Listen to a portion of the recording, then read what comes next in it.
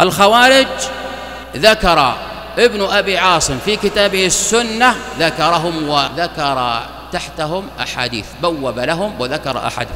أذكر هذه الأحاديث على وجه الإجمال والسرعة وإلا فإن بعضها إما أن تكون في الصحيحين أو في أحدهما أو في السنن.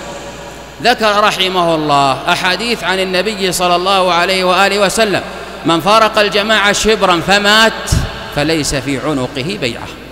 من مات وليس في عنقه بيعة خلع ربقة الإسلام من عنقه.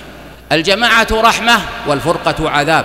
من أراد بحبوحة الجنة فليلزم الجماعة.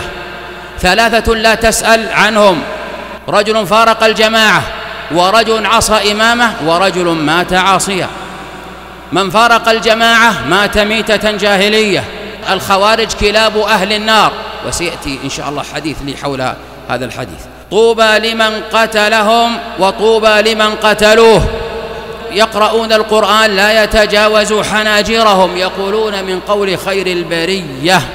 من قتلهم فله أجر شهيد ومن قتلوه فله أجر شهيدين. هذا وإن ضعفه الألباني. لكن الهيثمي في مجمع الزوائد يقول رواه الطبراني وقال رجاله ثقات إذا خرجوا فاقتلوهم إذا خرجوا فاقتلوهم.